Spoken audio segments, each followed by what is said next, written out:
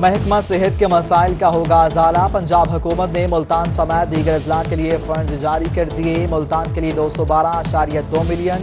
Dairy Khan کے لیے ایک سو چار اشاریہ دو ملین۔ بہاولپور کے لیے ایک سو ترپن اشاریہ دو ملین کے فنڈ جاری۔ ملتان سمیت صوبے کے متعدد پارکس میں بنیں گی ای لائبریریز۔ پنجاب حکومت کی جانب سے تیرہ ملین کے فنڈ جاری، جبکہ کھیل کے میدانوں میں جاری ترقیاتی کام ہوں گے۔ جلد مکمل، رواں مالی سال میں اسپورٹس کے جاری منصوبوں کے لیے چھہتر ملین سے زائد کے فنڈ جاری۔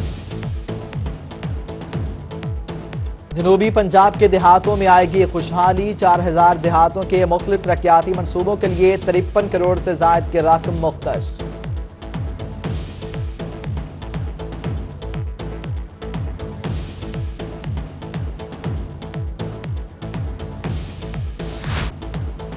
سفر شہادت جگر گوشہ بطول حضرت امام حسین علیہ السلام شہر اولا کی مرکزی جلوس ملتان ناصر آباد جھگ سے برآمد۔ ملک بھر سے عدران حسین کا نواز رسول صلی اللہ علیہ وسلم کو پرسا جلوس۔ دربار عالیہ حضرت شاہ شمس تبریزی پہنچ کے اختتام پذیر ہو گیا۔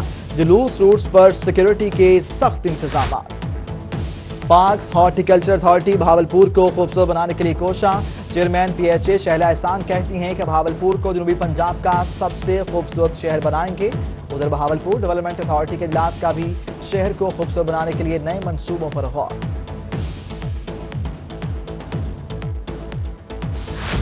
D P O D G Khan Atif Nazir کی توسع آمد، پولیس اور تفتیشی افسران سے ملاقات۔ اہم مقامات اور حساس تنصیبات کی سیکیورٹی بہتر بنانے کی ہدایت۔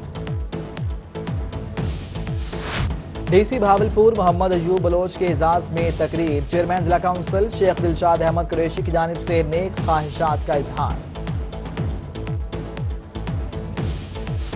ڈی جی خان میں یونیورسٹی آف ایجوکیشن کیمپس میں I T festival, M P A doctor Shaheena Najeeb Khosa کی شرکت طلبہ نے آئی ٹی فیسٹیول کے نکات کو خوش آئند قرار دیا۔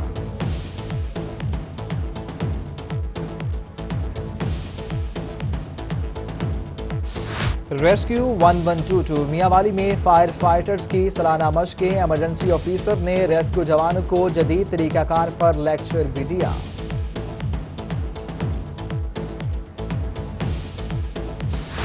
اور خواجہ فرید یونیورسٹی رحیمہ خان میں اوپن ہاؤس پروجیکٹ نمائش، vice chancellor doctor Muhammad Athar Mehboob نے افتتاح کیا۔